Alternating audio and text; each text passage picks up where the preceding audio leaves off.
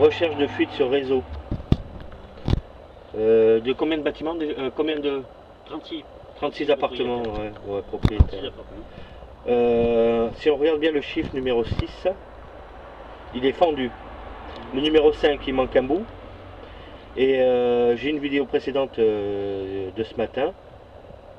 Il s'avère que le compteur ne tournait pas quand tout le monde dormait entre parenthèses. Et ils auraient perdu 7000 mètres cubes.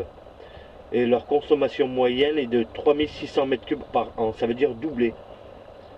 Il s'avère que si on avait une fuite de 3600 mètres cubes à l'année, on aurait le, compteur qui tourne encore deux fois plus vite, voire trois, quatre fois que celui-là actuel. Mais là, il s'avère qu'on doit avoir peut-être 5 personnes qui doivent servir de l'eau au lieu des 36.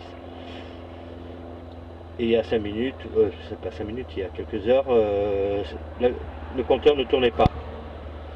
C'est qu'on n'a pas de fuite sur le réseau et qu'il y a un problème au niveau du compteur. On va créer un rapport hein, pour mettre en cause euh, la générale des eaux. hein.